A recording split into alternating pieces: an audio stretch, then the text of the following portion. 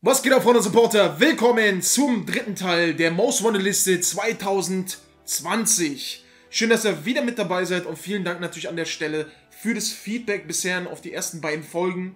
Gerne weiter supporten, gerne weiterhin kommentieren, bewerten nicht vergessen, eure Meinung in die Kommentare, eure Listen in die Kommentare, führt die gerne weiter und ähm, ja, bevor wir jetzt durchstarten mit Platz 24, 23, 22, kurz äh, eine Sache, ähm, kleiner Hinweis, folgt mir auf Instagram, checkt auch meinen Partner Instant Gaming ab. Da läuft immer noch ein Gewinnspiel und da sind auf jeden Fall, also Freunde, da sind noch nicht so viele diesmal dabei.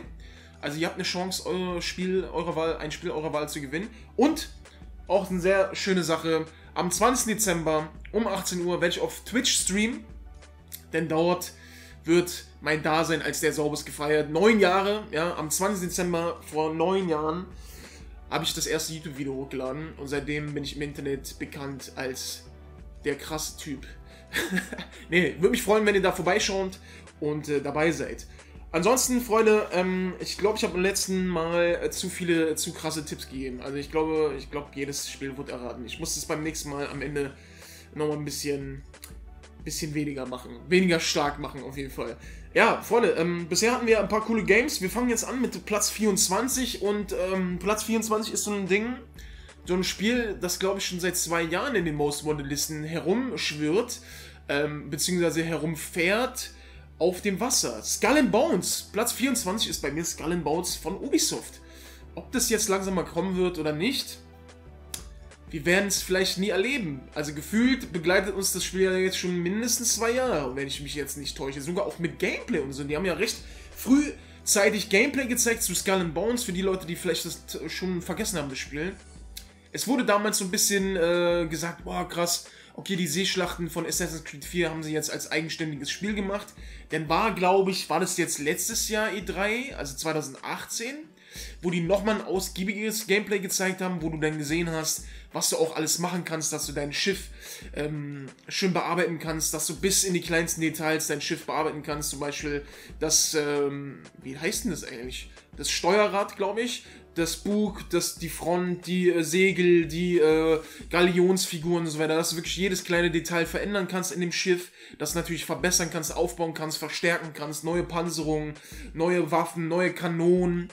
Also, dass sie halt dieses Gameplay in Sachen ähm, Schiff, Schlachten, Multiplayer-mäßig, dass sie das halt ausbauen, dass du auch äh, natürlich deine Crew einpass anpassen kannst und so weiter und so fort.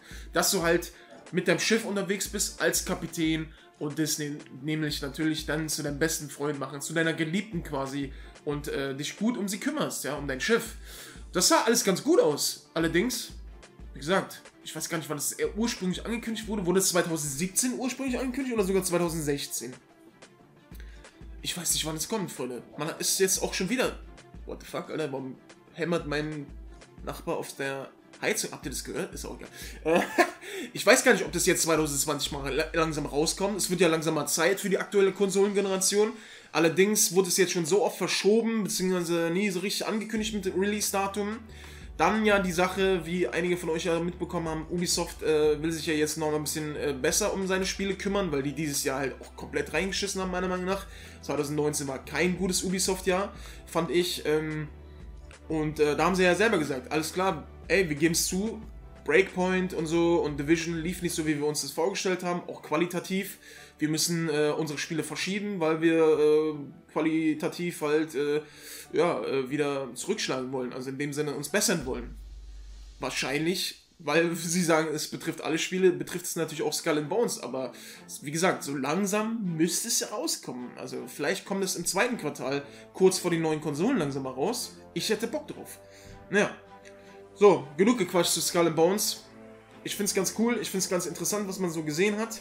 Und äh, ja, würde mir schon wünschen, wenn das in guter Qualität natürlich rauskommt.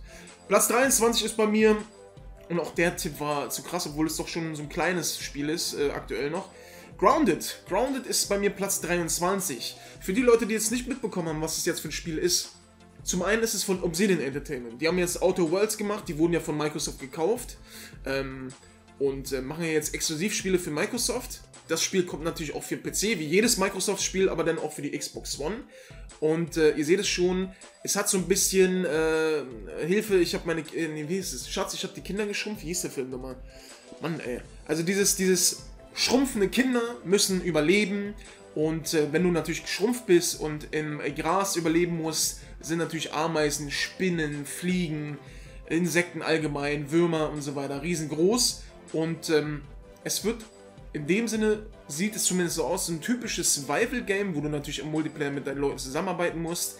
Allerdings in einem coolen Setting. Ich habe das Setting sehr, sehr gemocht. Also schon immer, auch in den Filmen, wie gesagt. Wie hieß das nochmal? Hilfe, Schatz, ich habe die Kinder. Ihr wisst schon, was ich meine. Oder halt auch mein Tipp, so ein bisschen ähm, das große Krabbeln, so diese Welt, in, in, in diese kleine Welt äh, oder diese große Welt in kleinen Maßstab. Wisst ihr, was ich meine? So ein bisschen Ant-Man-Style und so. Vielleicht gibt es ein paar Easter Eggs und so weiter. Das wäre ganz cool. Und wie gesagt, die äh, Obsidian-Leute, die sind sehr gut. Es wird ein Exklusivtitel für, für Xbox, für, für den PC, für Microsoft allgemein einfach. Und die brauchen Exklusivtitel. Ja? Wie gesagt, ey, die haben diese Konsolengeneration komplett reingeschissen. Sehr wenig rausgebracht, sehr viel auch Mittelmaß und so.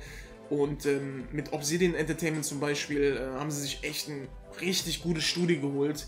Und ähm, das wird jetzt so ein kleines Spiel und ich denke mal danach geht es dann an die großen Games für die neuen Konsolen. Und ähm, auch die, Alter, keine Ahnung, was die machen könnten, ey. Gears of War Rollenspiel oder Halo Rollenspielen oder, oder, oder wenn die das, wenn die ein Fable Rollenspiel machen würden. Mann, ey, ich würde es feiern, ja.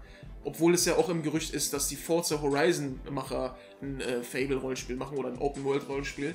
Also Microsoft muss abliefern, die sagen ja auch, äh, alles klar, ey, wir müssen endlich mal mehr rausbringen. Ich hoffe, sie halten sich auch dran. Und Grounded sieht aus wie ein kleiner, süßer Survival-Titel in einem coolen Setting. Ich glaube, es wird jetzt keine Bäume ausreißen oder Grashalme ausreißen, ähm, aber ey, das ist sowieso im Game Pass drinnen, beziehungsweise, obwohl ich kriege ja von Microsoft eigentlich immer ganz guten Support, also würde ich das Spiel auch so bekommen. Vielen Dank nochmal an der Stelle übrigens, äh, einer der äh, wirklich korrektesten äh, Publisher. Aber wie gesagt, die müssen halt ab, abliefern. Ne? Also sage ich auch ganz ehrlich, die müssen abliefern. Die müssen abliefern und äh, gutes Studio, coole Idee. Survival-Spiele habe ich in den letzten Jahren nicht zu viele gespielt, deswegen habe ich da noch Bock drauf. Ich weiß nicht, wie es euch geht. Vielleicht haben ja von euch Leute wirklich Forest, äh, äh, Ark und äh, Rust und hast nicht gesehen, alles gezockt. Das habe ich ja alles nicht gezockt, außer Forest. Ähm, deswegen, ich habe noch Bock auf Survival-Games. Und ja, sieht bisher ganz cool aus. Das nächste Spiel äh, auf Platz 22 ist auch ein Microsoft-Titel. Und auch da war der Tipp einfach zu krass. Ja, Gears Tactics ist bei mir Platz 22. Ähm, ich liebe die Gears of War Reihe. Ich liebe die Gears of War Reihe. Seit sie 2006 rausgekommen ist, liebe ich diese Reihe. Ich habe jeden Teil gespielt. Ich habe jeden Teil äh, auch mehrfach im Singleplayer gespielt, außer bisher ähm, Judgment und den fünften Teil. Aber ansonsten habe ich jeden Teil mindestens zwei, dreimal durchgezockt, allein auf den verschiedensten Schwierigkeitsgraden. Und ich liebe die Reihe, ja. Auch hier haben wir das Problem, ja, es ist irgendwie noch nichts zurückgekommen zu dem alten Glanz, die äh, Gears of War ausge, äh, äh ausgemacht hat auf der 360. Und jetzt kommt halt ein Gears Tactics Spiel. Und das hat so ein, äh, so ein XCOM-Vibe. Und ich muss sagen, XCOM war so einer der wenigen Spiele, die ich in den letzten Jahren privat gezockt habe. Ich habe es zwar auch mal angezockt vor sehr, sehr vielen Jahren auf YouTube, aber privat habe ich es dann tatsächlich nochmal auch gar nicht so lange. Ich glaube, Anfang diesen Jahres habe ich das tatsächlich nochmal auf dem PC durchgezockt. Äh, den X, ersten XCOM-Teil äh, hatte mir auch schon den zweiten gekauft, aber auch den noch nicht, nicht, nicht mal ausgepackt. Ja, Alter, wie viele Spiele ich mir gekauft habe oder bekommen habe, die ich nicht mal ausgepackt habe. Oh Gott. ja, und jetzt, wie gesagt, es wirkt sehr XCOM-mäßig, wie das neue XCOM, mit der Gears of War Lizenz. Und ich sag mal so, der äh, äh, Rollenspiel, sag ich schon, der, der äh, Strategieausflug in die Halo Wars Serie hat mir auch schon sehr, sehr gut gefallen. Und wenn die jetzt Gears Tactics mit den alten Klassen in dem Setting rausbringen und es steuert sich ähnlich wie XCOM, beziehungsweise dass du auch dann Sachen erforschen kannst, dass du auf deine Teammitglieder aufpassen musst, dass sie aufleveln kannst, ausrüsten kannst, dass du deine Base ausbauen kannst und so weiter. Wenn die das so ähnlich machen wie XCOM, nur mit der Gears of War äh, Lizenz, könnte es für mich ein richtig geiles Highlight werden, weil wie gesagt XCOM äh, Enemy Unknown, ähm, was ja vor ein paar Jahren rauskam, hat mir richtig Bock gemacht. Ich weiß nicht, könnt ihr mal gerne mal in die Kommentare schreiben, ob der zweite Teil vielleicht sogar noch besser ist. Und äh, wie gesagt, ich liebe die Gears-Reihe mit dem Taktik-Aspekt mega Bock. Ich hatte echt Bock drauf. Ich hoffe, die machen es cool.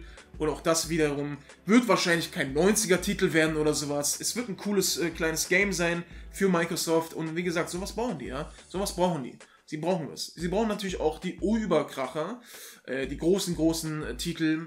Und ähm, die wird es, Spoiler-Alarm, natürlich auch in dieser Liste geben, Freunde. Ihr könnt euch ja vielleicht denken, was ich so meine. Gut, das war's. Ähm, meine Tipps fürs nächste Mal. Mm, ein weiteres Survival-Game, eine große Saga in einem Spiel und ähm, es wird psychisch ähm, anspruchsvoll, aber auch humorvoll. Psychisch. Psycho. Vielleicht kommt ihr drauf. Na, man könnte drauf kommen auf die Titel. Ey, das war's. Ich hoffe, es hat euch gefallen soweit. Gerne eure Meinung in die Kommentare, wie immer. Wie gesagt, bewerten äh, auch nicht vergessen. Wie gesagt, alles in der Videobeschreibung verlinkt. Twitter, Instagram und wie gesagt auch mein Twitch-Kanal. Würde mich freuen, wenn ihr da vorbeischauen würdet. Äh, macht auf jeden Fall immer Bock, da mit euch zu labern, zu zocken. Und das war's. Wir hören uns beim nächsten Mal. Wie gesagt, ich bin mal gespannt, ob äh, die Tipps jetzt äh, auch zu krass waren. Wir hören uns. Haut rein!